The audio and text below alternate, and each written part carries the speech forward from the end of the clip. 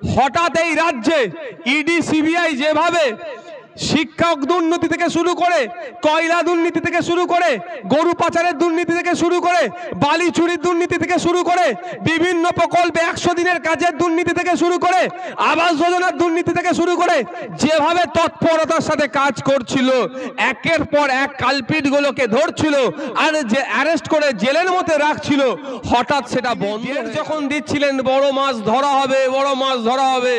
সবাই হয়তো ভাবছিলাম বড় মাছ ধরা হবে। আমিও ভাবছিলাম হয়তো বড় কাউকে ধরবে। হঠাৎ তিনি ডেটের কথা ভুলে গেলেন কেন? আর ডেটের কথা বলছেন না কেন? নিশ্চয়ই কিছু ঘটালা আছে এর মধ্যে।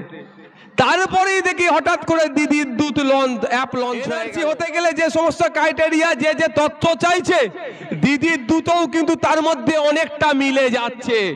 আমার এতে বিশাল সন্দেহ। সিবিআইডি এই বালি চুরি, গরু পাচার, কয়লা পাচার দুর্নীতি থেকে শুরু করে শিক্ষক দুর্নীতি থেকে শুরু করে একের পর এক যখন জড়িয়ে পড়ছে শাসক দল, দুর্নীতির জালে যখন নিজেরা জড়িয়ে পড়েছে, এদের রন্ধে রন্ধে যখন দুর্নীতি ঢুকে গিয়েছে, যখন কেন্দ্রীয় এজেন্সি তৎপরতার সাথে এদেরকে একটার পর একটা অ্যারেস্ট করছে, কখন পার্থবাবু তো, কখন মানিক বাবু কখন মানিক বাবু তো, কখন অনুব্রত বাবু আরও অনেককে যখন অ্যারেস্ট করছে, যখন হই হই কাণ্ড চলছে এইবার সবাই বুঝছে, এইবার বুঝি বড় মাথাটাকে ধরে নেবে। এইবার মনে হয় বড় মাথাটা যাবে, যখন এই পরিস্থিতি হয়ে যাচ্ছে, তারপরে হঠাৎ কেন শুভেন্দু বাবুও চুপ করে গেলেন?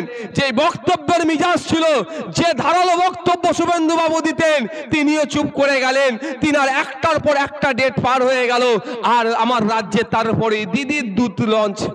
এই অ্যাপটা লঞ্চ হল মুখ্যমন্ত্রী ক্ষমতায় তৃতীয়বারের জন্য ক্ষমতায় আসার আগে বলেছিলেন যে তৃতীয়বারের জন্য যদি আমি ক্ষমতায় আসি ডবল ডবল চাকরি দেবো।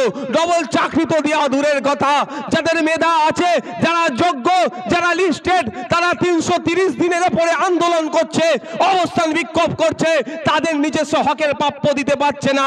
উল্টে তারা ডবল চাকরির পরিবর্তে চপ ভাজার নিদান দিচ্ছে কাশফুলের বালিশ বিক্রি করার নিদান দিচ্ছে তিনশো ষাট ডিগ্রি যখন পাল্টি খেয়ে যেতে পারে আপনার বুথের তৃণমূলের বন্ধুটা আপনার ডেটা নিয়ে যদি এনআরসি করে দেয় ও কিন্তু আপনাকে আগামী দিনে দশ এগারো সালের কথা বলছি যখন এই সরকারের ক্ষমতা সবে জাস্ট পালা বদল হয়েছে এক একটা মানুষের ওপরে কুড়ি থেকে চব্বিশ হাজারের মতো ঋণ ছিল আর মাত্র এই এগারো বছরে এই ঋণটা বাড়িয়ে আটান্ন হাজার টাকা আমাদের মাথায় ঋণ কর্মচারীদের হকের প্রাপ্য তাদের দিয়ে এই সরকার তাদেরকে দিচ্ছে না দিয়ে আটকে রাখার জন্য কোটি কোটি টাকা খরচ করে হাইকোর্ট থেকে সুপ্রিম কোর্ট পর্যন্ত লয়ার রেখে দিয়েছে। তাই এই সরকারের মাথার উপর দিয়ে পানি চলছে। যেখানে এই দুর্নীতি এই সরকারের কর্মীদেরকে এই সরকারের যারা দলে আছে তারা নাগপুর। নাগপুর। অর্থাৎ আরএসএস এর মোহন ভগবতজির কাছে হাত তুলে দিয়ে দেখেছি। অসমের মুখ্যমন্ত্রীকে আমার রাজ্যের মুখ্যমন্ত্রী দু ঘণ্টা ধরে আপনার দার্জিলিং এ গিয়ে চা খা ইতিপূর্বে দেখেছি যে লোক বলেছিল মুসলিমদের হাত থেকে ভোটাধিকার কেড়ে নিয়ে মুসলমানদেরকে সেকেন্ড ক্লাস নাগরিক বানিয়ে দাও। সেই স্বামী সুব্রমণিয়ামজিকে কলকাতার নবান্নে নিয়ে এসে চা খাওয়ানো মিনিট। ষোলো মিনিট চোদ্দ তলাতে কি গল্পটা করলেন আপনি আর উনি সেটা কিন্তু পাবলিক জানলো না। এটাও তো হতে পারে যে আমি দিদির দুধ লাঞ্চ করিয়ে দিয়েছি অ্যাপ মানুষ খুব এখন বাংলার মানুষকে আমি ঠিক বোকা বানিয়ে রেখে দিয়েছি। ওদেরকে অনেক প্রকল্প দেবো বলে সবাই ডেটা দেবে এই ডেটাটা আপনার দপ্তরে পাঠিয়ে দেবো। আপনি সুকৌশলে এনআরসি করে দেন নামগুলোকে। ভাতা থেকে কাটিং করে যারা বার্ধক্য ভাতা থেকে কাটিং করে প্রকৃত যে পিতাটার বার্ধক্য ভাতা পাওয়া দরকার। প্রকৃত যে পিতাটা মাটার বিধবা ভাতা পাওয়া দরকার তারা পাচ্ছে না। দিল্লির বিজেপির নেতারা খুব চিৎকার করে আমরা সিএ করব এনআরসি করব সিএ করব এনআরসি করব। আর এই সিএ এনআরসির ভয় দেখিয়ে দু হাজার একুশ সালে ভোটটাকে এক প্রকার লুট করেছে দিদিমণি সরকার যে তৃতীয়বার কিন্তু করতে পারবে না। কারণ নৌসাদ সিদ্দিকীর মতো আরও দুশো জন সুপ্রিম কোর্টে পিটিশন কেস করে রেখেছে। সাব জুডিস ম্যাটার, যতক্ষণ না পর্যন্ত সুপ্রিম কোর্ট থেকে রায় পাবে, এদের সিএ করার ক্ষমতা নয়। ভোট কাকে দেবেন, না দেবেন সেটা যারা পাবলিক আছেন, মাইকের আওয়াজ যাচ্ছে, তারা ডিসাইড করবে, সে বিষয়ে আমার বিতর্ক নয়। তবে কিছু জিনিস আপনাদের জানিয়ে দেওয়া দরকার বলে মনে করি। প্রথম হচ্ছে, এই দিদির দুধ বেরিয়েছেন এখন? হ্যাঁ? দিদির দুতে অনেক বলো, অনেক বড় বড় কথা বলছে, ঠিক আছে। আজকের খবর দেখেছেন? দোয়ারে চর প্রকল্প শুরু করেছে দিদির দূতেরা। খবর পেয়েছেন কি আপনারা? দুয়ারে চর প্রকল্প, দুয়ারে রেশন ছিল, দুয়ারে সরকার ছিল, দিদির দূতের মাধ্যমে দুয়ারে চর প্রকল্প দিচ্ছে। আরে দিদির দূতকে বলতে এসেছে তার সমস্যার কথা। সমস্যার কথা শোনার মানে শেষ করেনি, সমাধান করার আগেই চর লাগিয়ে দিয়েছে। আসলে এটা পাঠানো হয়েছে এই হুমকি দিয়ে, চুমকি দিয়ে যে ভোট বেরিয়ে যাচ্ছে সেটাকে ধরে রাখার জন্য। একটা আর একটা ভয়ঙ্কর ব্যাপার আছে। আপনারা সবাই জানেন দিল্লি থেকে দিল্লির বিজেপির নেতারা খুব চিৎকার করে, আমরা সিএ করব এনআরসি করব সিএ করব এনআরসি করব। আর এই সিএ এনআরসির ভয় দেখিয়ে দু হাজার একুশ সালে ভোটটাকে এক প্রকার লুট করেছে দিদিমণির সরকার, যে তৃতীয়বারের ক্ষমতা এসেছে। অন্যতায় উন্নয়ন দেখিয়ে নতুন করে ভোট পাওয়ার সেই জায়গায় এরা ছিল না। সিএ করে দেশ থেকে তাড়িয়ে দেবো, এই ভাষণ দিয়ে দিয়ে ভোটটা লুট করেছে। সিএ কিন্তু করতে পারবে না। কারণ নৌসাদ সিদ্দিকির মতো আরও দুশো জন সুপ্রিম কোর্টে পিটিশন কেস করে রেখেছে।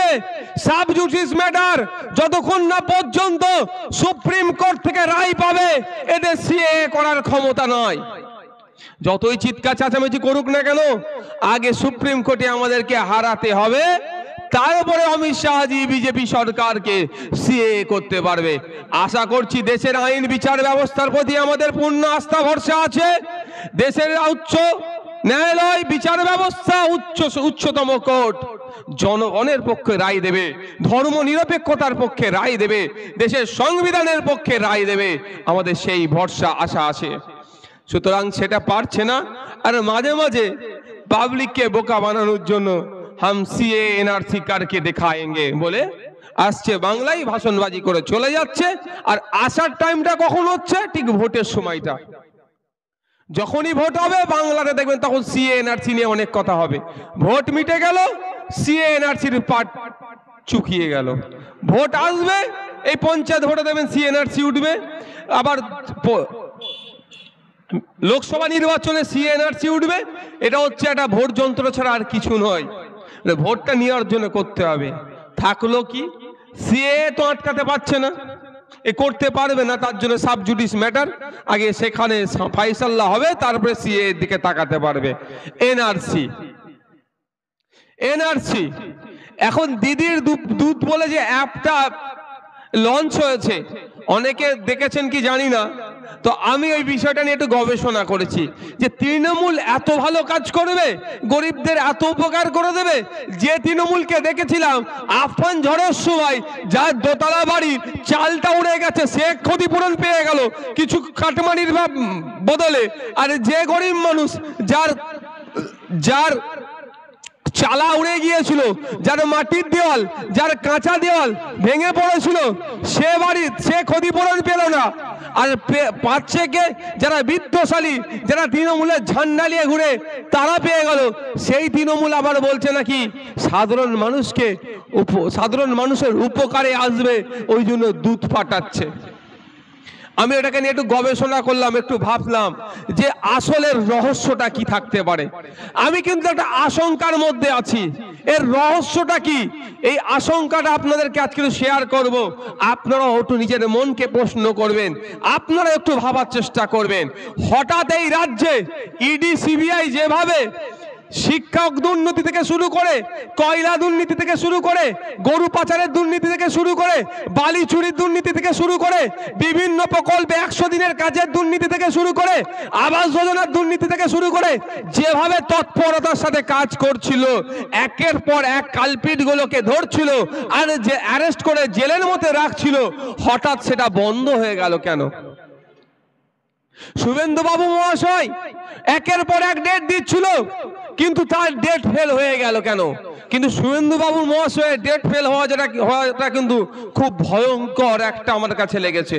কারণ শুভেন্দু বাবুর বিভিন্ন সময়ে বক্তব্য যেগুলো দেয় আর বাস্তবের সাথে মিলিয়ে দেখেছি অনেক ক্ষেত্রে প্রায় নাইনটি নাইন পার্সেন্ট মিলে যায়। তার আমি একটা উদাহরণ আপনাদেরকে দিচ্ছি।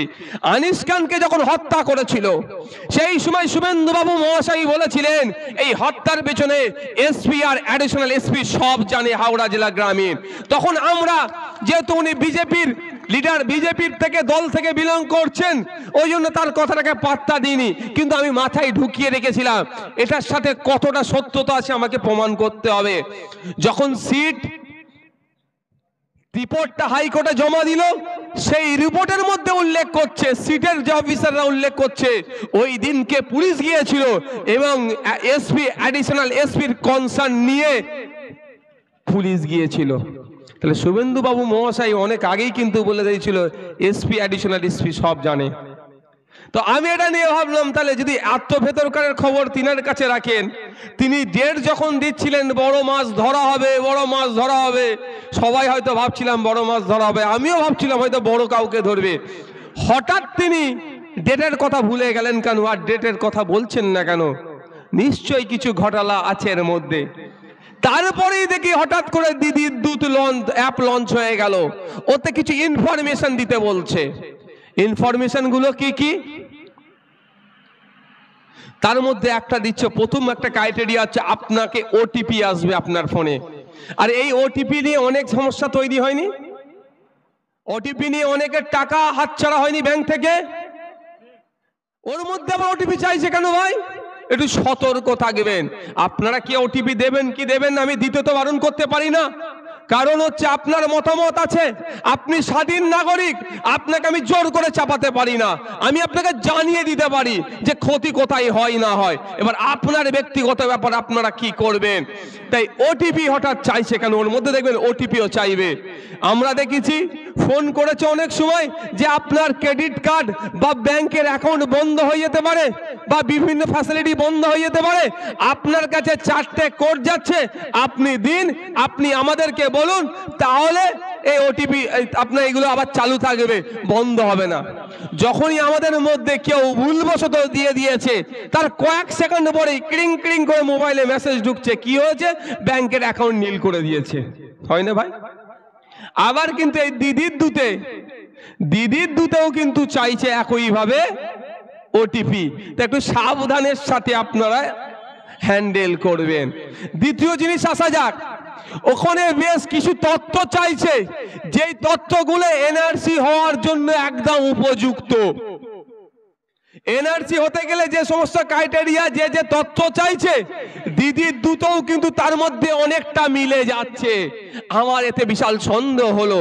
হঠাৎ এই রাজ্যে বিজেপির যেভাবে সিবিআইডি বা কেন্দ্রীয় সরি বিজেপির এজেন্সি নয়, কেন্দ্রীয় এজেন্সি সিবিআইডি এই বালি চুরি, গরু পাচার, কয়লা পাচার দুর্নীতি থেকে শুরু করে শিক্ষক দুর্নীতি থেকে শুরু করে একের পর এক যখন জড়িয়ে পড়ছে শাসক দল, দুর্নীতির জালে যখন নিজেরা জড়িয়ে পড়েছে, এদের রন্ধে রন্ধে যখন দুর্নীতি ঢুকে গিয়েছে, যখন কেন্দ্রীয় এজেন্সি তৎপরতার সাথে এদেরকে একটার পর একটা অ্যারেস্ট করছে, কখন পার্থবাবু তো, কখন মানিক বাবু কখন মানিক বাবু তো, কখন অনুব্রত বাবু আরও অনেককে যখন অ্যারেস্ট করছে, যখন হই হই কাণ্ড চলছে এইবার সবাই বুঝছে, এইবার বুঝি বড় মাথাটাকে ধরে নেবে। এইবার মনে হয় বড় মাথাটা যাবে, যখন এই পরিস্থিতি হয়ে যাচ্ছে। তারপরে হঠাৎ কেন শুভেন্দু বাবুও চুপ করে গেলেন। যে বক্তব্যের মিজাজ ছিল, যে ধারালো বক্তব্য শুভেন্দু বাবু দিতেন, তিনিও চুপ করে গেলেন। তিনার একটার পর একটা ডেট পার হয়ে গেল। আর আমার রাজ্যে তারপরে দিদির দূত লঞ্চ। এই অ্যাপটা লঞ্চ হলো কেন? আমার বিশাল সন্দেহ হচ্ছে। আমি আশঙ্কার মধ্যে আছি। আপনাদেরকেও সজাগ করছি। হয়তো এই দিদির দূতের অ্যাপের মাধ্যমে আমাদের অজান্তেই এনআরসি হয়ে যাবে, আমরা জানতে পারব না। তাই সতর্ক থাকবেন। যারা আপনার এই অ্যাপে আপনাকে ইনফরমেশন নিতে আসছে। তাদেরকে অন্তত একবার আপনারা প্রশ্ন করবেন ইনফরমেশন দেওয়ার আগে। দেবেন কি দেবেন না আপনাদের ব্যাপার? যদি এনআরসি হয়ে যায় কিন্তু তখন নৌসাদ সিদ্দিকে কিছু করার নাই। এখন সিএ আটকে রেখেছে। আমি তো বলতে পারব আমার অনেকটা। ক্রেডিট আছে, সিএ আটকে রেখেছে আমার। আমার মতো আরও দুশো জন আটকে রেখেছে। আমার কিন্তু এনআরসি যদি আমাদের অজান্তে আপনাদেরকে এই কিছু অল্প কিছু লোভ দেখিয়ে, এই আবাস যোজনা, বিধবা ভাতা, বার্ধক্য ভাতা লোভ দেখিয়ে কেউ যদি এনআরসি এই আপনার এনআরসির কাগজ সাবমিট করিয়ে নেয়, তখন কিন্তু আমার কিছু করার থাকবে না। তাই আপনাদের বলি, একবার প্রশ্ন করবেন, এই যে ডেটাটা নিচ্ছ, এটা আমাদের অজান্তে দাদার কাছে পৌঁছে যাবে না তো? অর্থাৎ পশ্চিম বাংলার ডেটাটা দিল্লিতে আপনারা আমাদের অজান্তে পৌঁছে যাবে না তো? এই প্রশ্নটা আপনারা করবেন। কারণ আমরা দেখেছি যে রাজ্যের মুখ্যমন্ত্রী ক্ষমতায় তৃতীয়বারের জন্য ক্ষমতায় আসার আগে বলেছিলেন যে, তৃতীয়বারের জন্য যদি আমি ক্ষমতায় আসি ডবল ডবল চাকরি দেবো। ডবল চাকরি তো দেওয়া দূরের কথা। যাদের মেধা আছে, যারা যোগ্য, যারা লিস্টেড তারা তিনশো তিরিশ দিনের ওপরে আন্দোলন করছে, অবস্থান বিক্ষোভ করছে। তাদের নিজস্ব হকের প্রাপ্য দিতে পারছে না। উল্টে তারা ডবল চাকরির পরিবর্তে চপ ভাজার নিদান দিচ্ছে, কাশফুলের বালিশ বিক্রি করার নিদান দিচ্ছে। তিনশো ষাট ডিগ্রি যখন পাল্টি খেয়ে যেতে পারে, আপনার বুথের তৃণমূলের বন্ধুটা আপনার ডেটা নিয়ে যদি এনআরসি করে দেয়, ও কিন্তু আপনাকে আগামী দিনে জবাব দেবে না, তাই সতর্ক থাকবেন। এই সরকার কি? এই সরকার নিজে বাঁচার জন্য। কারণ এর এত পর্যন্ত বলে লোকে ডুবে গিয়েছে, এর এইখান দিয়ে পানি চলছে। এই সরকারের এখান থেকে পানি চলছে। দু হাজার দশ এগারো সালের কথা বলছি, যখন এই সরকারের ক্ষমতা সবে জাস্ট পালা বদল হয়েছে, এক একটা মানুষের ওপরে কুড়ি থেকে চব্বিশ হাজারের মতো ঋণ ছিল, আর মাত্র এই এগারো বছরে এই ঋণটা বাড়িয়ে আটান্ন হাজার টাকা আমাদের মাথায় ঋণ চাপিয়ে দিয়েছে। সরকারি কর্মচারীদের হকের প্রাপ্য তাদের দিয়ে, এই সরকার তাদেরকে দিচ্ছে না, দিয়ে আটকে রাখার জন্য কোটি কোটি টাকা খরচ করে সুপ- হাইকোর্ট থেকে সুপ্রিম কোর্ট পর্যন্ত লয়ার রেখে দিয়েছে। তাই এই সরকারের মাথার উপর দিয়ে পানি চলছে। যেখানে এই দুর্নীতি, এই সরকারের কর্মীদেরকে, এই সরকারের যারা দলে আছে, তারাই যুক্ত। যেখানেই দুর্নীতি, ডালা তুলে দেখো তৃণমূল হাজির। যেখানেই তৃণমূল, ডালা তুলে দেখো সেখানেই দুর্নীতি। তো সুতরাং এই সরকারের মাথার উপর দিয়ে চলছে পানি। গলার ওখান দিয়ে নয়, যে গলা পর্যন্ত পানি হয়ে গেছে, একটু বাঁচার চেষ্টা করবে। মাথার উপর দিয়ে চলছে। তাই এই সরকার বাঁচার জন্য ওপরে হাত তুলেছে। ওপরটা কোথায় ভাই? কোথায়? দিল্লিও নয়, নাগপুর। নাগপুর। অর্থাৎ আরএসএস এর মোহন ভগবতজির কাছে হাত তুলে দিয়েছে। সুতরাং আমাদেরকে সজাগ থাকতে হবে। তিনি তিনার পরিবারকে বাঁচানোর জন্য আমাদের অজান্তে আমাদেরকে প্রকল্প দেবে বলে, আমাদেরকে বিধবা ভাতা দেবে বলে, আমাদেরকে বাড়ি দেবে বলে, আমাদের তথ্য আমাদের অজান্তে দিল্লি বা নাগপুরে পাঠিয়ে দিচ্ছে নাকি, এটাও আমাদেরকে সজাগ থাকতে হবে। আর যখন আমাদের মধ্যে কোনো এক ভাই কি বিশ্বাস নামটা ভুলে গেলাম, কি ঘোষ নামটা ভুলে গেলাম। যখন প্রশ্ন করেছে কিছু, তখন দুয়ারে চর প্রকল্প দিয়েছে। সময় এসেছে সময় এসেছে, আমি তাও বলব আইন হাতে তুলে দেব না। কিন্তু এই ধরনের অত্যাচার করলে পাবলিক কিন্তু শ্রীলঙ্কান মডেল শুরু করে দেবে। সময় এসেছে, যদি এখন এই ঔদত্ততা দেখায় পাবলিক শ্রীলঙ্কান মডেল শুরু করে দেবে। আমি চাই না কেউ আইন হাতে তুলে নেয়। তাই আপনাদের বলব তথ্য দেওয়ার আগে দেখবেন যে তথ্য আপনাদের অজান্তে এনআরসি না হয়ে যায়। বারবার বলছি আপনাদেরকে, বারবার বলছি, বিভিন্ন জায়গাতে গিয়ে বলছি যে তৃণমূল এত সহজে এত মানুষের উপকার করবে এটা আমি ভাবে পাই না। কারণ তৃণমূলে বেশ কিছু লোক ভালো, যে কটা লোক ভালো আছে, সে কটা লোককে কথা বলতে দেয় না ভাই। আছে, ওদের মধ্যে ভালো লোক আছে। আর ফোর ফ্রন্টে কাকে রেখেছে? যে তোলাবাজি করতে পারবে ভালো। যে কারখানার গেটের সামনে গিয়ে তালা মেরে দিয়ে কারখানার মালিকের কাছ থেকে টাকা তোলে। এই আপনার সম্ভবত হলদিয়াইতে এসে বলেছিল তো। সেভেন্টি ফাইভ পার্সেন্ট আর টোয়েন্টি ফাইভ পার্সেন্টের রেশিওর কথা বলেছে। সে এদের বড় নেতা। আর যে চাই এদের মধ্যে, এই তৃণমূলের মধ্যে কিছু বন্ধু আছে, যে কারখানা হোক, কলকারখানা হোক, রাজ্যের মানুষ কাজ পাক, তারা রিজার্ভ বেঞ্চে বসে গিয়েছে। তাই এদেরকে বলব, এদের দুর্নীতির হাত থেকে বাঁচতে, সিবিআই ইডি কেন্দ্রীয় এজেন্সির হাত থেকে বাঁচতে, আপনাদের অজান্তে আপনাদের কাগজকে এনআরসি হয়ে যাচ্ছে না তো, এটা আপনারা সতর্ক থাকবেন। আমি কিন্তু আশঙ্কার মধ্যে আছি, কারণ ইতিপূর্বে আমি দেখেছি, ইতিপূর্বে দেখেছি অসমের মুখ্যমন্ত্রীকে, আমার রাজ্যের মুখ্যমন্ত্রী দু ঘণ্টা ধরে আপনার দার্জিলিংয়ে গিয়ে চা খাচ্ছেন। ইতিপূর্বে দেখেছি, যে লোক বলেছিল, মুসলিমদের হাত থেকে ভোটাধিকার কেড়ে নিয়ে মুসলমানদেরকে সেকেন্ড ক্লাস নাগরিক বানিয়ে দাও, সেই স্বামী সুব্রমণিয়ামজিকে কলকাতার নবান্নে নিয়ে এসে চা খাওয়াচ্ছেন। আমরা ইতিপূর্বে দেখেছি, যে অমিত শাহ এখন খারাপ ওনার চোখে। প্রথম ছিল আডবাণীজি, ভালো? মোদিজি খারাপ, যখন আডবাণীজির পিরিয়ড শেষ হয়ে গেল তখন বলছে, মোদিজি ভালো, অমিত শাহজি আর যোগীজি খারাপ। যদি কোনো সময় মোদিজি, যখন মোদিজির আবার পিরিয়ড যদি শেষ হয়ে যায়, তখন বলবে, যোগীজি খারাপ, অমিতজি ভালো।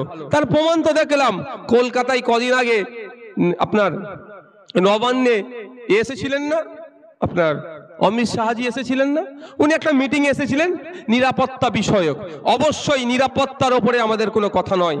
সর্বপ্রথম আমাদের দেশের নিরাপত্তা। তারপরে অনেক কিছু। আমাদের দেশের যদি নিরাপত্তা বিঘ্ন হয়ে যায়, তাহলে দল থাকলেও কিছু লাভ নেই, পার্টি থাকলেও ঝান্ডা থাকলেও কিছু লাভ হবে না। সর্বপ্রথম আমরা আগে নিরাপত্তার প্রশ্নে আমাদের কোনো কম্প্রোমাইজ নয়। ভালো কথা। নিরাপত্তা বিষয়ক আলোচনা করেছে, ঠিক কথা। কিন্তু ষোলো মিনিট ষোলো মিনিট চোদ্দ তলাতে কি গল্পটা করলেন আপনি আর উনি, সেটা কিন্তু পাবলিক জানলো না। এটাও তো হতে পারে যে আমি দিদির দুধ লাঞ্চ করিয়ে দিয়েছি অ্যাপ মানুষ খুব এখন বাংলার মানুষকে আমি ঠিক বোকা বানিয়ে রেখে দিয়েছি।